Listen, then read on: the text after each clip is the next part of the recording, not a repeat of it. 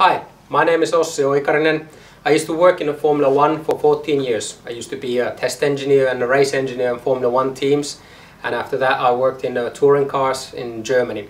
Now I race myself in drag racing and we race with the 1937 uh, Chevy. It looks like that but it's not really. It's a Pro Street car and we have a big Chevrolet V8 engine in our car. In 2018 we were running the engine as a standard engine, didn't do anything special to it and we had a lot of problems with the bearings in the, in the engine. The bearings were wearing out and we had a lot of difficulties with keeping the oil pressure on the engine good and also the wear and the tear on the engine started to be very high.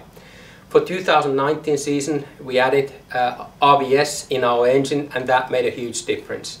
The wear on the engine bearings, on the bottom end bearings was almost completely gone and the bearings after the season they're a lot better.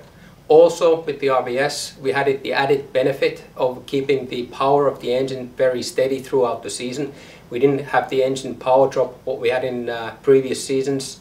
Uh, the power stayed good through the year and also the oil pressure stayed very good on the engine. So with one of these, with the G8 engine treatment, we did a lot of, lot of benefits for our engine maybe you should try also.